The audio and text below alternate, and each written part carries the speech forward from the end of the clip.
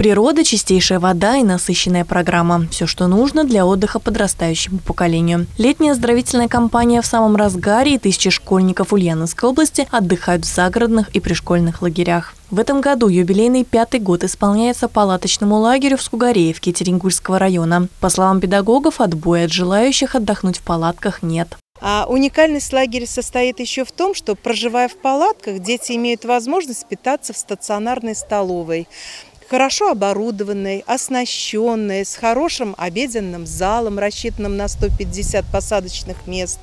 А, очень вкусное пятиразовое питание у детей. Смена длится всего неделю, поэтому каждый день расписан буквально по минутам. Ежедневно воспитанники участвуют в спортивных турнирах, творческих концертах, капустниках, а также занимаются научными исследованиями. У нас много мероприятий связанных с творчеством, связанных со спортом. Турниры по пионерболу, волейболу, футболу, даже турнир болельщиков по черлидингу, э, различные веревочные курсы, разведывательные шоу.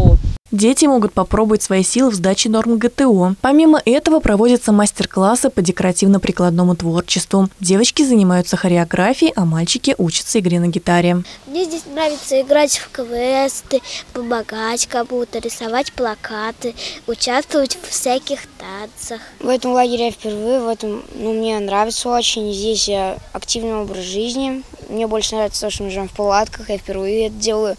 Но я, конечно, ходил уже, скажем так, походы, уже жил в палатках, но то тоже интересно, поскольку видишь дикую природу. Ну, столовая, конечно же, недалеко. По традиции, в конце смены ребята вместе с воспитателями подготовят большой концерт и танцевальный флешмоб. Анна Тищенко, новости Ульяновской правды.